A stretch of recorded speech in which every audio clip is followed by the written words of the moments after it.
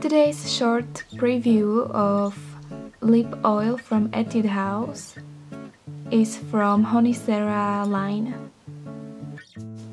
This oil is great solution whenever lips feel dry or chapped. It contains honey, royal jelly, ceramide with enriched nutrition for moist and glossy lips, and it contains more than 98% of oils.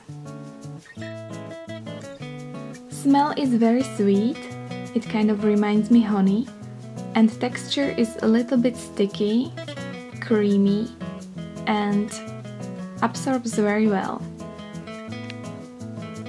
Skin feels immediately like a silk. If you have any ideas how can I improve this channel, feel free to comment because I'm used just to take the photos.